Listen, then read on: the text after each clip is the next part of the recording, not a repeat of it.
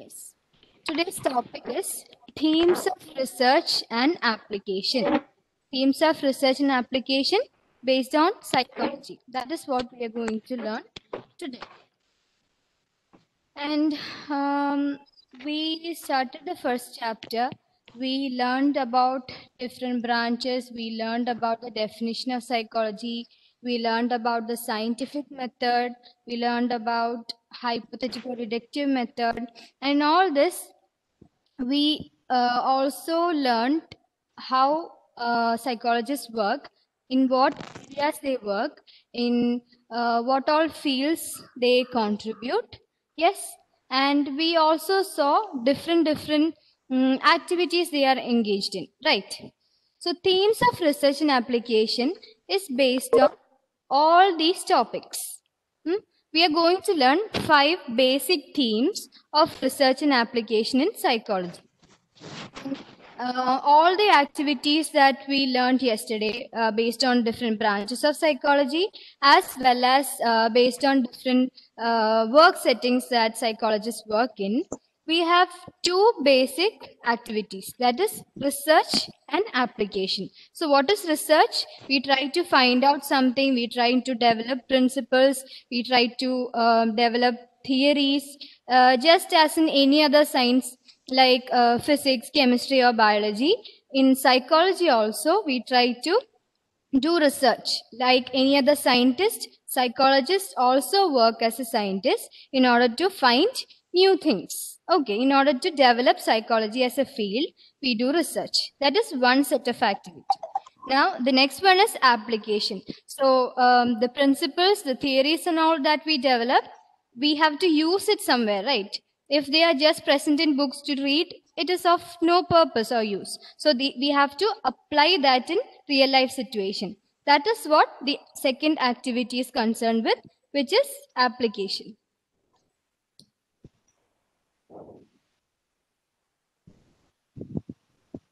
okay is the screen clear now is the presentation clear okay fine now, uh, themes of research and application, as I, as I told you now, basically two activities that are concerned, that is research and application. Based on this research and application, we have five themes. Five the themes means five different different contexts or concepts based on which we do research and application. We are going to see which uh, five themes are. The first one is Psychology, like other sciences, attempts to develop principles of behavior and mental processes. So I told you, just like any other science, that is maybe physics, chemistry, or biology, or whichever science it be, um, they, uh, the scientists uh, who work in these fields, what they do is they try to find new things and make certain innovations or discoveries or inventions day by day. They are interested in a particular topic of that particular field. They study them. They collect data from different different places or different different people, and they try to uh, formulate certain principles. In mathematics, we have postulates. In physics, we have different laws and principles.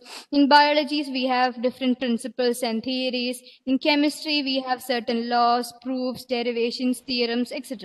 So in psychology, what what uh, do we study basically? Behavior and mental processes. What was the three concepts in the definition? Amal, tell me. In the definition of psychology, the three keywords, which were they? And experiences. Experiences. Then mental processes, and one more.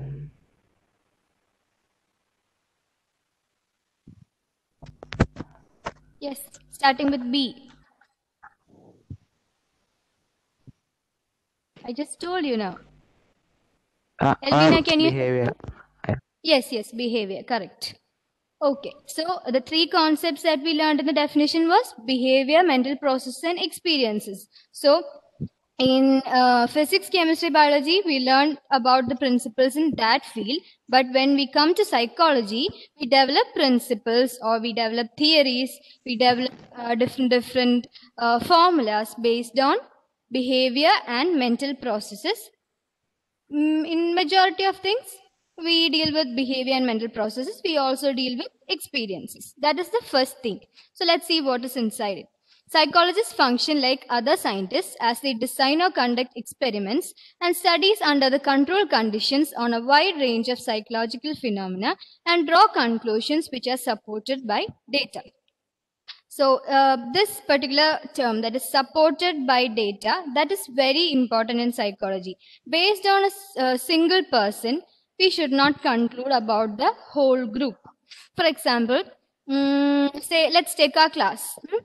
Uh, and I asked a question to Amal right now. And um, imagine that he didn't answer the question, okay? And he didn't listen to my class also. Imagine, okay? This is just a uh, hypothetical situation. I asked a question to Amal, he didn't answer. He didn't listen to my class also. And based on Amal's behavior, I judge the whole class or a whole group that you are a set of uh, students who doesn't listen or who doesn't answer to the teacher's question. But uh, is my evaluation correct? Yes? Amal? Will my evaluation be correct if I do so? No. So based on certain amount of data from uh, different different people or maybe different different places i have to make the conclusion. So you have if i have to study the whole class then i have to take the data or collect the data that is uh, whichever data it may maybe i'll be interested to know your intelligence. Maybe i'll be interested to know your attitude towards different things. Maybe i'll be interested to know your attention span. If I have to judge the whole group based on uh, something or maybe any psychological concept, then I, I have to collect data based on that from a majority of you. Not based on a single person can I judge the whole class. If I do so, then it causes errors or bias as we learned in the scientific method. So, as this um, particular theme tells, uh, psychologists also conduct experiments based on the psychological attributes or features. Attributes means features. Um, and we collect data from a set of people, and then only we can conclude uh, and create a principle or a theory. Understood? And what do we have next? Experimental, comparative, physiological, developmental, social, and differential uh, and abnormal psychology are generally regarded as domains representing basic psychology here. Experimental psychology, what is it? We learned about the different different experiments that psychologists conduct. Comparative psychology, it's a new term. Please note in your lecture notes. Comparative psychology means we study animals and then we uh, formulate theories and principles and we compare that to human psychology. In different chapters uh, including the com- upcoming chapters like learning uh, memory and all we have different experiments different famous experiments classic experiments in psychology. They have been done in chimpanzees they have been done in dogs they have been done in rats uh, they have been done in cats they have been done in pigeons. All these uh, studies have been done in animals and then theories have been developed principles have been developed and they have been tested in human psychology too. So comparison between animal animal psychology and human psychology takes place in comparative psychology. Okay it's a field of study. Is a subfield of psychology that deals with the comparative studies between animals as well as human psychology understood please mute your audios if it is on Okay, next is physiological psychology, which is the another name given for the biological psychology, which we learned it as a branch. Then developmental psychology, we learned it yesterday. It is based on different stages of life throughout the lifespan from conception to old age. Then social psychology also we learned yesterday, uh, which is based on the social context. Then differential psychology, differential psychology studies the individual differences in people. That is uh, how i am different from you. How you are different from your parents. How your parents are different from the rest of the people in the world. Such individual differences uh, based on psychological concepts are studied in differential psychology. Now we have abnormal psychology. Abnormal psychology is similar to clinical psychology that we learned yesterday but abnormal psychology as such deals with mental disorders mental disorders alone. Clinical psychology deals with its prevention, treatment, the therapy and all. But abnormal psychology deals with abnormalities, basically, the mental disorders. And yeah, these particular domains, to name a few, they are considered as basic psychology. So if I ask you a question, which are considered or regarded as basic psychology, you have to give these names. Which are they?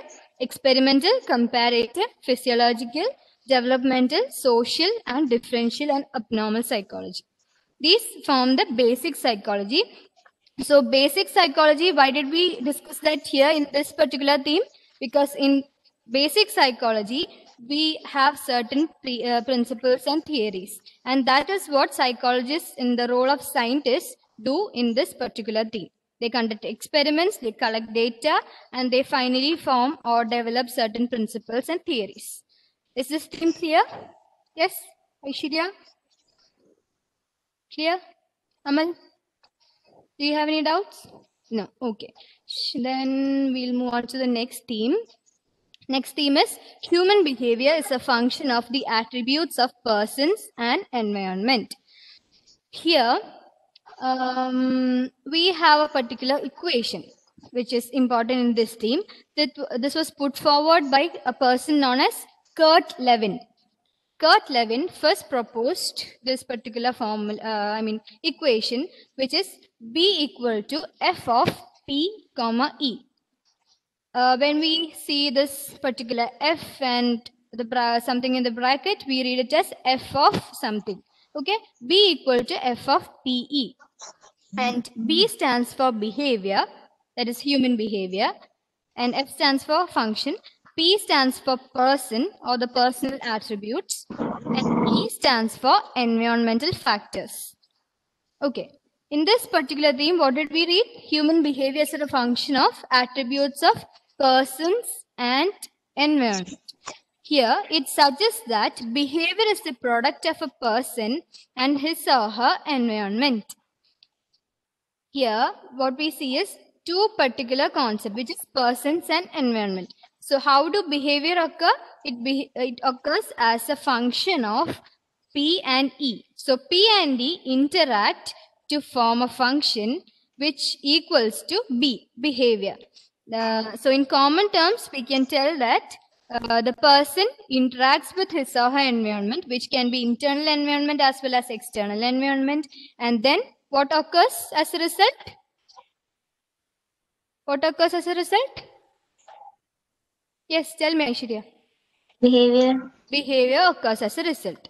So this form, this particular equation is very important. You will learn this in coming chapters also. Please note that in your lecture notes. Okay. And Kurt Lewin was an American German psychologist, and he was the one who first proposed this particular uh, formula to, I mean, equation to describe this human behavior. So, according to him, what is behavior? Behavior is a function of person and the environment. Let's see the P and E separately. The first one, P. Persons differ with respect to their various attributes because of their genetic endowments and diverse experiences. Attributes means I told you before basic features. Okay, different different features. Maybe physical, maybe psychological, maybe emotional, or maybe uh, based on your feelings. That differs from person to person. And here, genetic endowment. What do they mean? Genetic endowments means something that is uh, transferred from your parents or your ancestors to you like inheritance you are inherited something. Uh, maybe the color of your hair maybe the um, anger behavior maybe the personality maybe the orderliness that they follow like uh, order keeping things clean and tidy maybe that particular behavior or maybe the uh, color of the eyes. All these fall under genetic endowments. So what uh, is given here.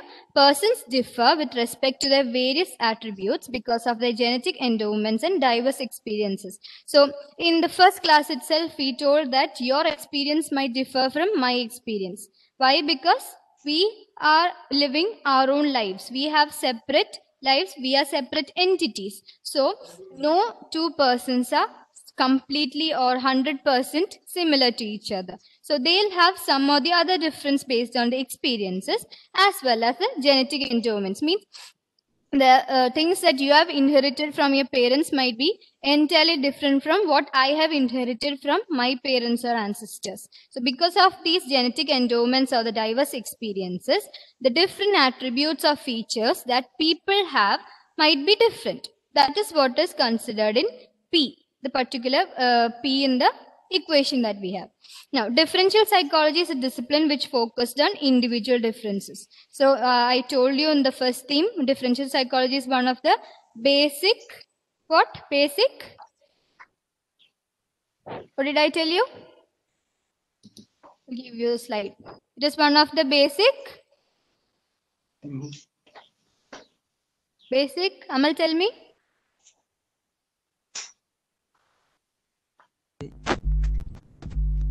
Basic. uh, psychology.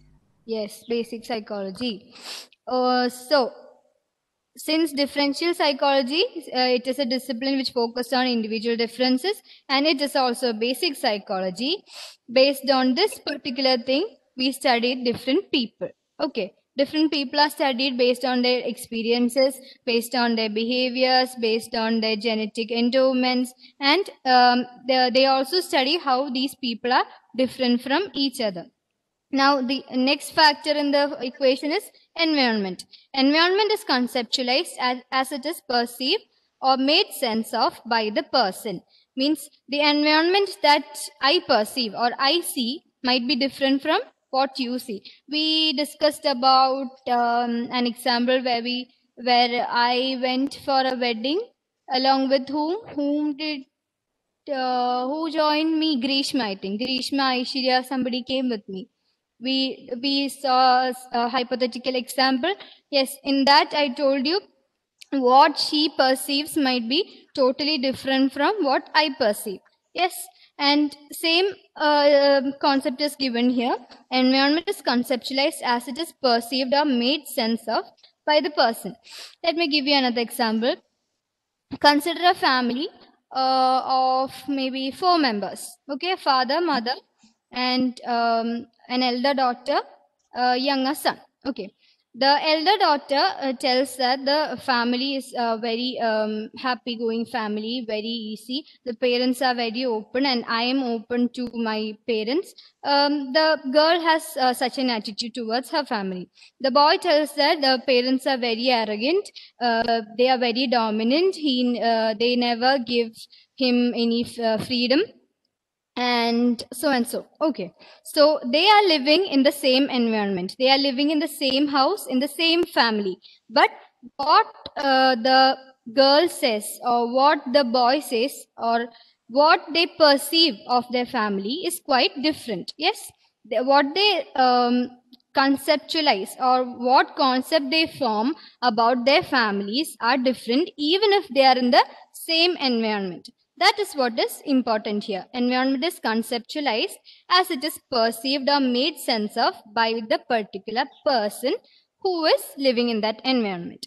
So, coming back to our equation, behavior is a function of person as well as the environment. So, person as such also differs from different different individuals from individual to individual environment also differs from individual to individual and how they perceive also differs from person to person. So when behavior occurs, it occurs as a function of this particular person and his or her environment. So it will be unique to each and every person. That is why behaviors are not generalized as such. So your behavior might not be my behavior or our behavior might not be somebody else's behavior.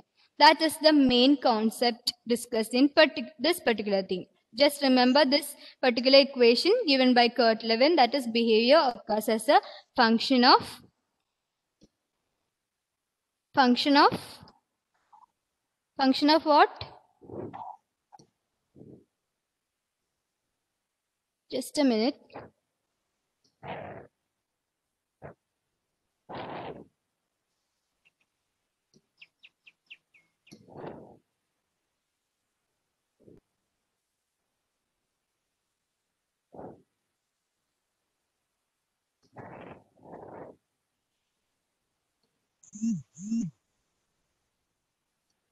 Can you see the screen now?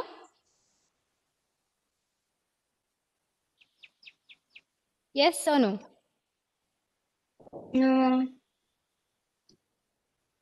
Wait a minute.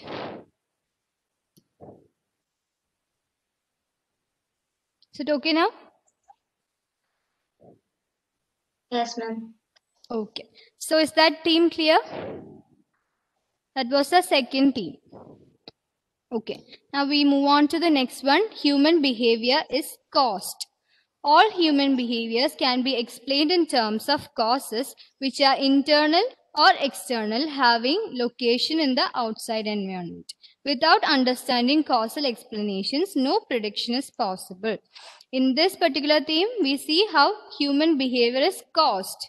Human behavior is caused means we study the um, causes of behavior. And in psychology, we have a particular thing called etiology. Etiology means um, the study of the causes of certain abnormalities or mental illnesses. Uh, if you want, please note that etiology, E-T-I-O-L-O-G-Y, etiology. We study the causes of abnorm abnormalities and mental illnesses. Okay, all human behaviors can be explained in terms of internal external causes. Yes, when we studied the definition of psychology, we studied behavior in depth, right? In that we saw the causes or the stimuli that cause a response. They can be both internal as well as external. You also did an assignment on it. So you'd be knowing that the causes or the stimuli can be both internal and external. Internal means uh, something which is inside the person or it comes from the internal environment of the person. And uh, the other one external environment when it comes from the external environment or from outside the body of the person it is external in nature. And why do we study the causes because it is uh, only after studying the causes can we try to explain or predict behaviors. So if i know that um, whom El- Elvina is uh, a very um, silent uh, child, and she gets angry when uh, we disturb her while she is watching TV. Hmm? This is a particular um, statement that I have uh, constructed, and such statements are called hypothesis, tentative statements. I'm not too sure about it. I have to test it, and I have tested and found out that Elvina gets angry when um, she is disturbed while she she's watching a TV. So I know that if I disturb, if I cause certain things, then she'll give me a behavior which is anger. Yes, and with that I can be alert. Next time when she watches TV, I can prevent myself from going to her and disturbing her. Yes. So it helps in prediction because I can predict that she'll react in such a way that she'll shout at me if I go and disturb her. So I can predict her behavior just because I know the cause. Again, we are having just a minute.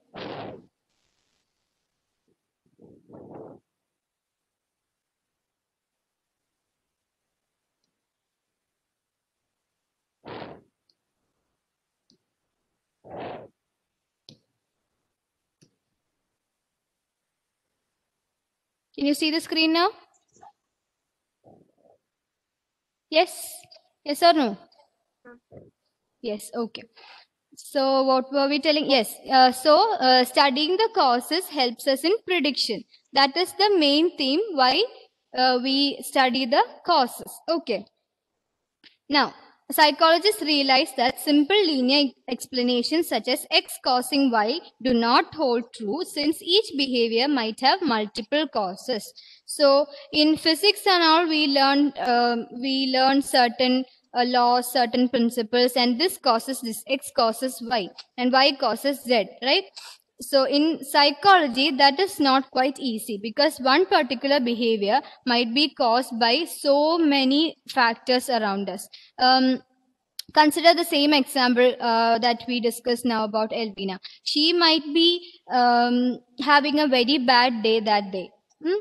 might uh, she might have got scoldings from her mother she might have got low marks or she might have not slept properly the last day uh, i mean last night and uh, maybe she didn't like the breakfast that day. Those are the reasons those may be the reasons or might be the reasons why she's reacting in such a way.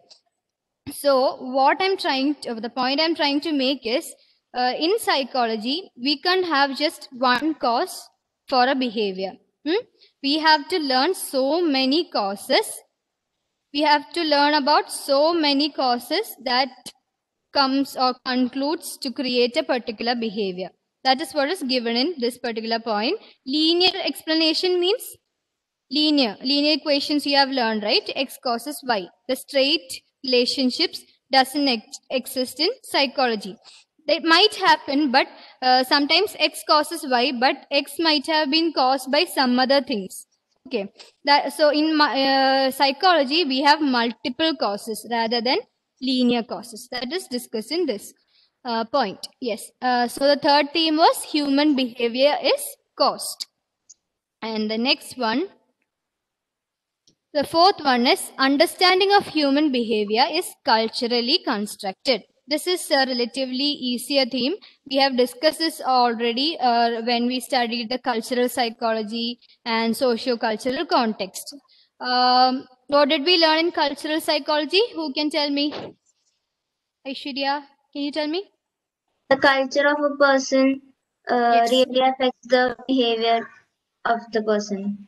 Yes, the culture that we live in, or the cultural factors like traditions, uh, customs, uh, beliefs, uh, value points, all those factors that we have got from our ancestors as well as our parents, or that is particular to the particular culture that we live in, all these have influences on our behavior as well as mental processes. So in this particular uh, theme, we discuss the same thing. Some some psychologists believe that excuse me some psychologists believe that psychological theories and models are euro-american why? Because we learned about the schools of psychology right? I told that um, most of the theories and principles are of western origin. So it is basically euro-american. It has developed either in europe or america. A similar critique is made by feminists who argue that psychology offers a male perspective and ignores the perspective of women.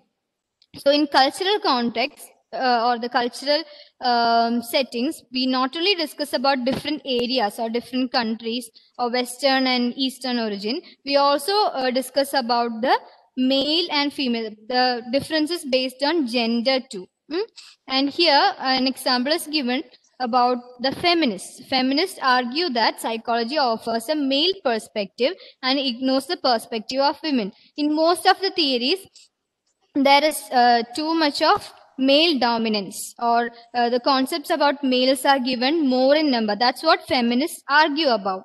And what they want is they argue for a dialectical approach which will accommodate both male and female perspectives in understanding human behavior. So this is given as just to uh, understand how cultural differences occur the male and female differences. And uh, dialectical approach means which incorporates both the perspectives of male and female. That is what feminists want. That is given in your textbook. This as an as a small example. So in this particular theme what did we see? Understanding of human behavior is culturally constructed which means human behavior has to study has to be studied in the context of culture. And next one the final theme is Human behavior can be controlled and modified through the application of psychological principles. So, finally, why do we study psychology? What do uh, what uh, purpose is there for the particular principles that we develop or the theories that we develop? At some point of time, we have to use this, use these principles and theories to make a change, right? So psychologists as well as other scientists have a desire to develop techniques or methods that will improve the quality of human life. So we have different standards of living for different people and to improve their quality of life or the uh, ease with which they live or the well-being of the uh, people uh, in the world that is the main uh, focus or the desire of the people or the scientists who study in the field of psychology or create research and uh, develop principles and theories. And they what they want is they want to apply this particular principle and theories and make a difference. They want to change people's life in a positive manner. They want to help them. They want to help the society. They want to contribute something from their part so that the other's life can be dealt with easily and they make interventions into lives of needy people. Needy uh, the needy people we have a set of needy people and what uh, what do these psychologists or scientists do? They create principles they create theories they apply this they study these particular population of needy people and they try to understand what can be done to help them. Okay Using psychological principles and theories, they try to remove certain difficulties or adverse conditions that individuals experience in different phases of their life. Just the same thing that we told. So, the, the adverse uh, experiences or the ad- adverse conditions that people experience in life, they might come in different forms. They might come in, in the form of uh, depression, maybe other mental disorders, or maybe slight uh, small stresses maybe certain adjustment problems as, uh, as we discussed last day like shifting from um, an uh, uh, new home shifting from an old home to a new home shifting to a new job maybe taking up a, a new um, i mean a new job or taking up a new um, venture maybe starting a new business all these might create adjustment problems also. So the adverse conditions might vary in terms of their intensity. But what they try to do is basically they develop principles they develop all these stuff and what they do is they apply this. They apply this to help them and to make their life much easier than it was before. And these are the five themes. I'll just finish it off now. We just have one small topic remaining basic versus applied psychology. Here, basic psychology, I told you in the beginning, the first theme itself, we discussed about uh, basic psychology. Uh, they are th- basically the theories and principles that form the basis of application of psychology. So, uh, which were they? Experimental psychology, physiological psychology, comparative psychology, developmental, social, differential, and abnormal psychology. All these form the basic psychology. And in this particular fields, we create principles or we develop principles and theories and we use them in applied psychology. Understood? So basic psychology forms a theoretical framework and applied psychology forms the practical framework. We use we take things from basic psychology and then we apply them into real life situations which forms the this section that is applied psychology. So uh, basic psychology is research oriented, which means we collect data, we develop theories and principles and all. And then here it is application oriented, which means we use this or we apply this into real life. For what purpose? To make others' life much easier or to help needy people or to improve their quality of life, to improve the quality of human life that is today's concept. I'll just rewind. Uh, psychology, uh, the first theme was psychology, like other sciences, attempts to develop principles of behavior and mental processes. Uh, this is this deals with the development of principles and theories only. Now, the next one is human behavior as a function of attributes of persons and environment, which um, is based on this particular equation that you have to study uh, proposed by Kurt Lewin, B equal to F of PE. Behavior is a function of person and environment. Then the third theme was human behavior is caused. Why do we study uh, the causes? To predict behaviors. And it is not linear causes, which means we have multiple causes. We have so many causes for a single behavior. That's why it is uh, said that uh, in psychology, simple linear relations doesn't exist. Now, the fourth one is uh, understanding of human behavior is culturally constructed. which we studied about the Euro-American situation, the cultural context, and the example that we saw was of, of feminism, and what they want is a dialectical approach, uh, including or combining both male and female perspectives. Then human behavior can be controlled and modified through the application of psychological principles, which is mainly based on applied psychology. That is, we create principles and um, theories and all in the basic psychology, then we apply them into real life situations. That is the fifth theme. And we saw the differences between basic versus applied psychology. So, in uh, when you get a question regarding uh, themes of psychology, what you have to do is you have to learn these uh, headings or the uh, themes by heart but uh, the content inside you can uh, write it in your own words. Okay if you have understood the concept you can write it in your own words but make sure you mention all these uh, things that i marked as important like b equal to f of p. That is very important for this particular theme. Here we have uh, the drawing conclusions supported by data the basic psychology uh, which are the fields coming under that. Then behavior, we have the linear part, we have prediction, uh, the possibility of prediction. Then in understand the fourth theme, we have the Euro-American concept, the cultural concept, then feminism, dialectical approach. And in fifth one, we have improving the quality of life, then uh, interventions into the lives of needy people, then how it helps to Uh, helps people to face adverse conditions in different phases of life. And this is also clear, I hope. Yes, any doubts? Anybody? Do we have any doubts? Ma'am, can you show the last slide once again? Okay, just a minute.